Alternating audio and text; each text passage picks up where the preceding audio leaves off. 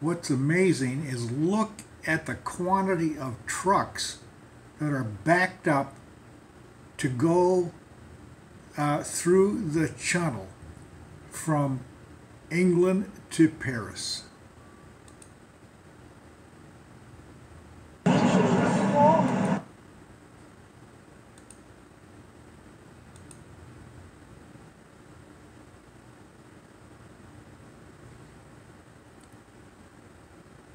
These guys and gals, these drivers, they've got a long wait.